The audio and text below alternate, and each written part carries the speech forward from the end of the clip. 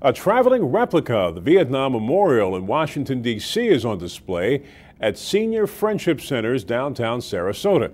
It's part of the Patterson Foundation's Legacy of Valor campaign. SNN local news reporter Grant Boxleitner is joining us with more. Ron Steckel was drafted and sent to Vietnam in 1967. For him, seeing the Bringing Home the Wall Memorial here holds special meaning. When they had the wall here, I've never been to the, wa the Washington Wall, which is on my bucket list. But this is the closest. Closest I've been to the wall. They got a few friends out here.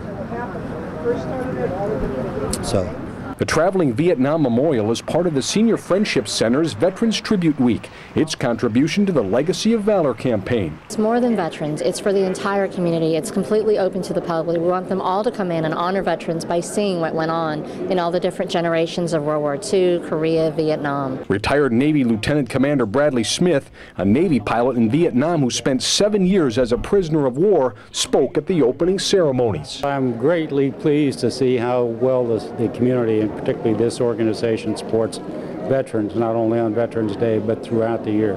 They do a tremendous job here. Steckel, meanwhile, says he's noticed a positive opinion shift across America in recent years toward Vietnam vets. Things have changed in America, so feel good about it. Reporting in Sarasota, Grant Boxleitner, SNN Local News. And again, the Traveling Vietnam Memorial is open to the public for viewing from 9 to 7 daily through Friday at Seniors Friendship Centers in Sarasota.